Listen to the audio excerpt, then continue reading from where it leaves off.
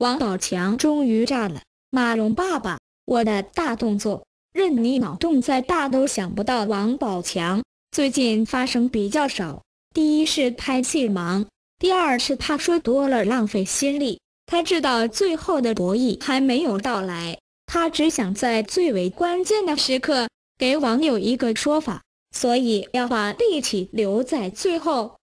作为少林寺的弟子，他也深知这样的道理。这感情的博弈，离婚的官司也如同敲鼓，再而衰，三而竭。他不想到真正需要自己的时候，他却已经用尽了力气。他只有眼睁睁地看着，看着曾经的娇妻已然变了模样，看着曾经的岳父大人已然把他当成了案板上的肉。岳母虽然没有岳父那么有韬略，但也是抓住一切机会，喋喋不休，一会喜之，一会怒之，一会暴躁之，一会把他当儿子，一会把他当魔鬼。其实钱财的流失倒不至于这么心痛，最大的心痛是对方良心的缺失，把他曾经的付出当成一堆粪土。马蓉爸爸和妈妈早就说过的。如果王宝强不老实，就会让他好看的。所以他们反击的材料都已经形成，就准备在法庭上反戈一击了。当然，这些材料许多都是子虚乌有的，但就如同翟欣欣那个程序员老公一样，他满身是理，还不是让翟欣欣一句“我要告你偷税漏税”的事，一下子打中他的命门。他为了翟欣欣，什么豪宅，什么车子，一切都不在话下，就跟王宝强对马蓉是一样一样的。但最后被逼得跳楼死了，他就怕马蓉一家人也来这样的阴招，或者比这还阴的招。因为马蓉的爸爸其实一定会以其人之道还治其人之身。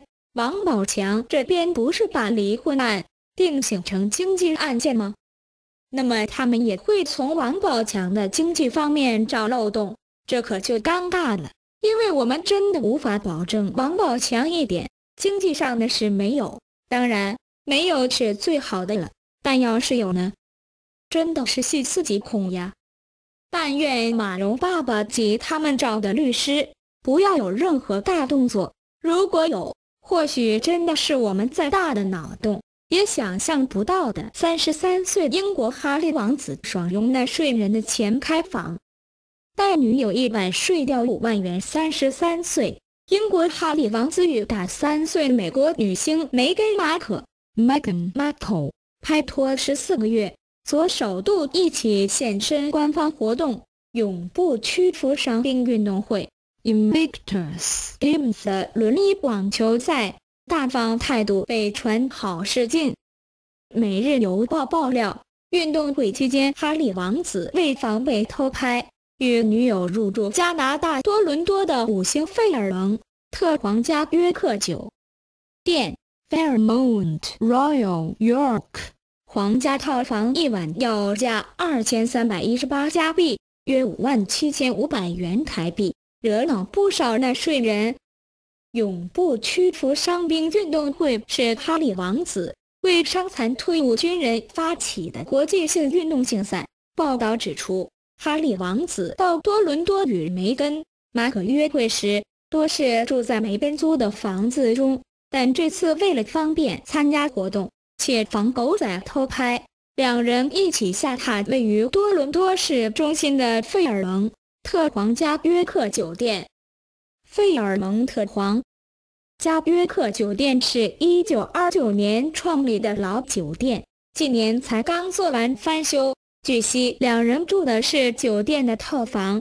该酒店有多种不同套房选择，但最便宜的一晚也要至少一千八百五十四加币，约四万六千元台币。两人入住奢华酒店消息曝光后，网友愤怒留言：“英国人。”为何要缴税让他们这样啊？他们一晚就花清洁员十分之一的年薪。更有人表示，两人大方放闪又爽住豪华酒店，根本是模糊焦点。怒斥，重点不是，应该放在为伤残人士所举办的活动上吗？穿着透视装，他曾被轰下央视舞台，多位明星连呼受不了。能够登陆央视，可算是很高的荣誉了。凡能够做到这一点，肯定倍加珍惜。但是有一个明星却不加珍惜，因为穿着透视装，直接被轰下了央视舞台。这到底是什么情况？我们先来看看他的背影照，你能不能猜出他是哪位明星吗？这个着装大胆的明星就是周楚楚，中国内地女演员。二零零四年出演首部电视剧《难忘一千九百三十六》，获得关注，打开了娱乐圈大门。二零零八年出演首部电影《一半海水一半火焰》，获得大量粉丝。二零一零年凭借电影《野草莓》获得第二届澳门国际电影节最佳演员新人奖。二零一三年主演电影《叶问之终极一战》和电视剧《英雄联盟》。二零一五年和胡歌搭档主演电视剧《大好时光》。周楚楚在2008年曾因出演首部电影《一半海水一半火焰》而受到关注，并且在拍过《叶问终极一战》时与黄秋生传出绯闻。在不久前，《大好时光》周楚楚全裸照被曝光，尺度十分惊人，这其中包括电影《维多利亚一号》饰演妓女戏中。均有大尺度的裸戏和激情肉搏的床戏。